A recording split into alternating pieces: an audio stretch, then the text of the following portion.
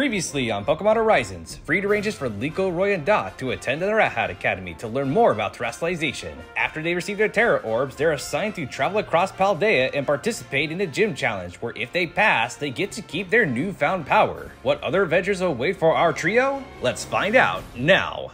EB Artiverse!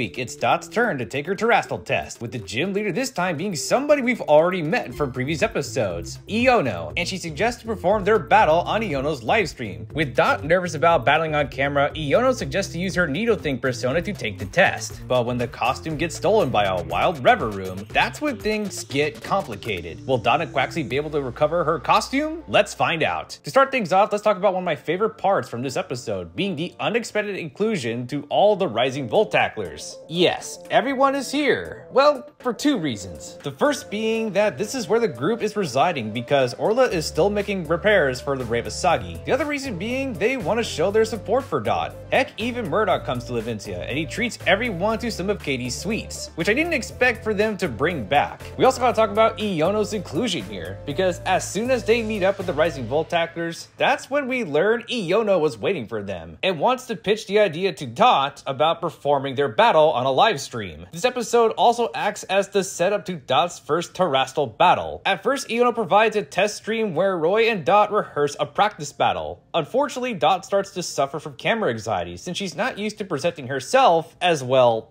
herself. This causes her to battle, and this is where Iono suggests to try something that'll dazzle her viewership, like using Nidothing. After testing this with a public stream, she's on board with the idea, but Quaxly is against this decision because they want Dot to overcome her anxiety. Heck, even Liko notices that Dot is forcing this persona to dodge facing this anxiety. And while Dot is still on the fence, unfortunately her costume gets stolen, which forces Dot and Quaxly to be put into position to fight against the Revavroom with the drawing crowd. I like how this episode is tackling on the topic of both camera and social anxiety, since this is something we never really see too often from the anime. It's very refreshing, especially with how they present this with Dot's character, and it demonstrates amazing growth since we first started the series. The only thing I'm a bit perplexed about is how Revavroom just shows up as a plot device to move the story forward, but the execution is still top notch. And I love how the conclusion comes down to Dot facing Iono as herself and not through her costume. How will the battle go down? We'll just have to see. But for now, let's talk about the fun Easter eggs and other feats from this episode. Firstly, it's the advertisements across Levincia showing the starters from their early to their mid-stage evolutions. Levincia is also very full of life with trainers and Pokemon roaming about in the background,